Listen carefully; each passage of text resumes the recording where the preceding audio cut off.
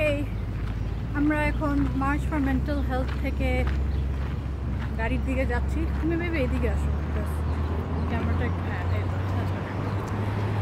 তো আমি একটু আগে লাইভ ভিডিও করলাম আমার ফেসবুক পেজের জন্য।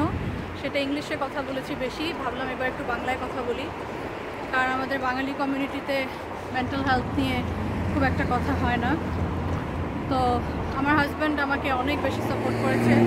আমার সুস্থ হওয়ার পিছনে তার অনেক বড় হাত আছে। এদিকে যাব না.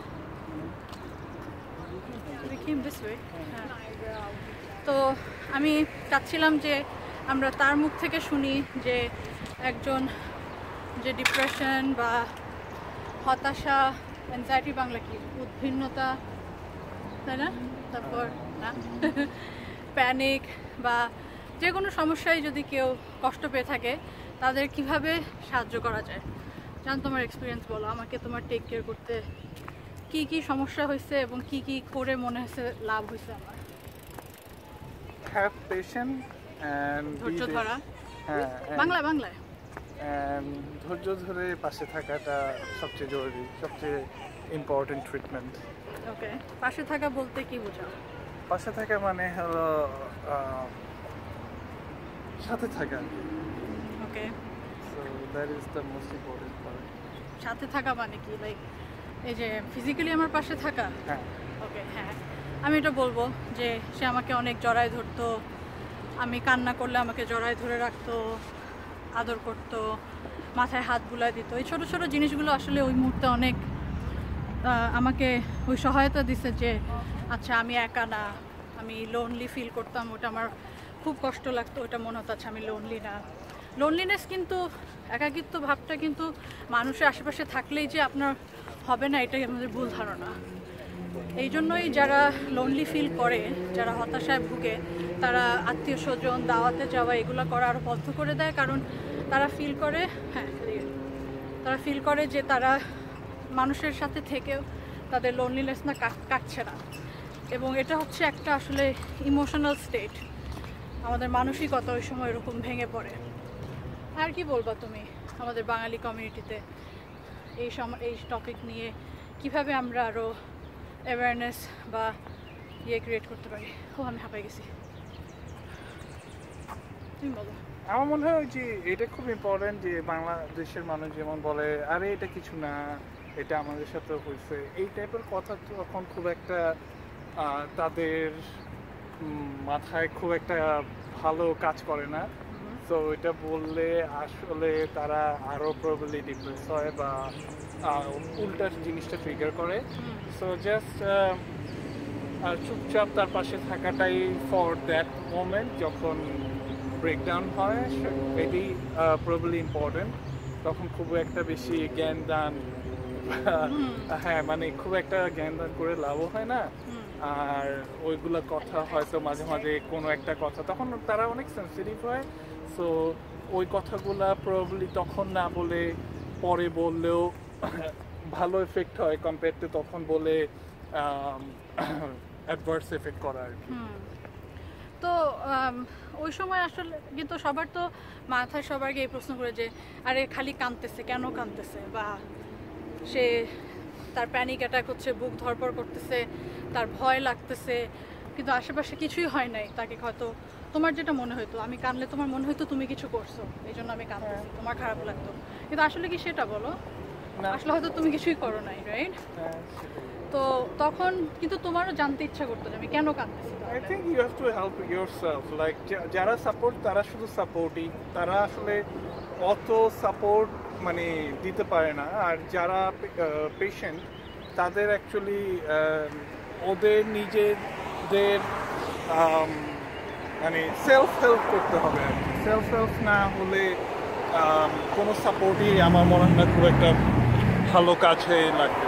কিন্তু মানুষের সাপোর্টটাও খুবই জরুরি। সেলফ হেল্প করার জন্য মাঝে মাঝে একটু সাপোর্ট একটু হ্যাঁ পুশ লাগে। true, but then again, um, যারা সাপোর্ট সিস্টেম তাদেরও মানে এটা এত ইজি না to support mental health patient because না মানে তো কেউ যদি বলে যে না আমার মনে হয় আমার ডাক্তার দেখানো উচিত বা আমার একটু থেরাপিতে সাইকোলজিস্ট দেখানো উচিত তখন অ্যাজ এ সাপোর্ট সিস্টেম আপনার তাকে নিয়ে যাওয়া উচিত। এটা নিয়ে তর্ক বিতর্ক কেন দরকার তোমার যাওয়ার? কি হয়েছে? আমাকে বলো না।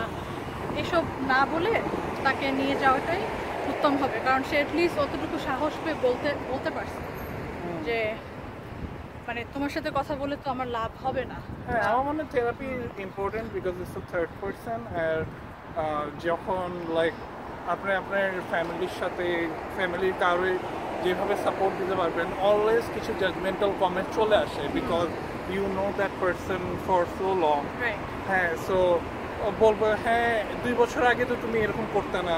সো এইটা তোমার কেন এটা এইটা? থেরাপিস্টরা কখনোই বলবে না বিকজ তারা ওই ওই পড়ালেখাটা করে আসছে এবং তারা জানে কি what to say what to not to say আর আরেকটা হলো তারা অনেক পেশেন্ট অলরেডি দেখে আসছে। সো তোমার ফ্যামিলিতে হয়তো তুমি মাত্র একজনই দেখতেছো ওই জন্য এরকম জাজমেন্টাল কমেন্ট চলে আসে। হ্যাঁ এবং হিট অফ দ্য মোমেন্ট অনেক কিছু মানুষ বলে ফেলে। কিন্তু যারা থেরাপিতে মানে প্রফেশনাল তারা এই ভুলটা করে না এবং Like to get a good therapist is very important কেননা সব থেরাপি যারা দেয় তারা যে রাইট ওয়ে লাইক ও একটু আগে একটা ভিডিওতে তো সব বলছে যে they they have to know what to ask তুমি তোর বাবা হাত অবশ্যই যাচ্ছে। So হ্যাঁ। they have to know what to ask. So, um, What to ask and হ্যাঁ, what to ask, সমস্যাটা what not to কোথায়- ask. হ্যাঁ, Right. সমস্যাটা কোথায় তাদের Doctor ডাক্তার যদি না বুঝে আপনাকে ঠিক চিকিৎসা বা টেস্ট না দেয় আপনি তো বুঝবেন রাইট. থেরাপিস্ট তো সেম যদি আপনাকে ঠিক মতো গাইড না করতে পারে বা ঠিক প্রশ্নগুলো না করছে আপনাকে বা ঠিক ট্রিটমেন্ট আপনার উপর না করছে আপনার বুঝতে হবে যে এই থেরাপিস্টের সাথে আমার বনছে না এবং I need to speak to someone else এবং এটা আপনি প্রথম সেশনেই বুঝবেন না কি হ্যাঁ, important. হ্যাঁ। Like প্রথম সেশনে হয়তো বোঝা যায় না after two three two sessions. Three sessions আপনি বুঝতে পারবেন হ্যাঁ। এই জন্য থেরাপিস্টের সাথেও কমিউনিকেট করাটা খুব ইম্পর্টেন্ট আসলে আমরা আমার আমার যেটা মনে হয় আমরা আমাদের সমাজে অ্যাজ আ হোল আমরা খুব কথা বলি না। স্পেশালি আমাদের ব্যক্তিগত সমস্যাগুলো হ্যাঁ, আমরা এতই ওগুলাকে পার্সোনাল মনে করি বা এত কি বলে মানিজ্যত ধরে রাখি ওগুলোর সাথে যে আমরা মনে করি ওগুলো যদি আমরা কার সাথে শেয়ার করি আমাদের মানিজ্যত শেষ হয়ে যাবে। হুম। মানিজ্যত নিয়ে কি করবা বাবা? মানিজ্যত বেঁচে খাবা? না কি আমি জানি না। সো হ্যাঁ ঠিক আছে ঠিক আছে তো আমি, এবং এটা আমি ফিল করেছি অনেক বেশি, কারণ এখনও ফিল করি। আমি যখনই আমার পার্সোনাল কোনো স্টোরি আমি অনলাইনে শেয়ার করতে যাই, সবার আগে আমার মাথায় চিন্তা আসে, আমার বাবা মাকে চিন্তা করবে? এটার আঘাত আসিফের উপর পড়বে কিনা? এটাতে আমার মানুষ কি ভাববে? মানুষ কি বলবে আর মানুষ কি ভাববে? এইটার চিন্তায় আমরা অনেকেই কি বলে ভিক্টিমাইজ হয়ে যাই। কিন্তু যখনই আমি ওপেনলি কিছু বলি, দশটা মানুষের মধ্যে হয়তো আটজন মানুষ ভিতরে ভিতরে চিন্তা করতেছে হ্যাঁ আমার সাথেও তো এটা হইতেছে। পাঁচজন মানুষ হয়তো সাহস নিয়ে এটা অ্যাডমিট করবে যে তুফা যেটা বলছে ঠিকই বলছে। দুইজন মানুষ হয়তো সামনে এসে আমাকে বলবে যে তুফা তুমি যেটা বলছো ঠিক বলছো। তারপরেও তারা তাদের আত্মীয় স্বজন বা তাদের স্বামী স্ত্রীর সাথে শেয়ার করবে। সো আমাদের স্টিগমাটা স্টিগমার বাংলা কি? জানি না আমাদের বাংলা খুবই খারাপ। সো স্টিগমাটা অনেক বেশি, কারণ আমরা খুব বেশি গুরুত্ব দিই মানুষ কি ভাববে। মানুষ কি ভাববে এটা গুরুত্ব না দিয়ে নিজেকে আগে গুরুত্ব দিন ওকে হ্যাঁ না হ্যাঁ ভাবে গেছি। আচ্ছা আবার পরে কথা হবে।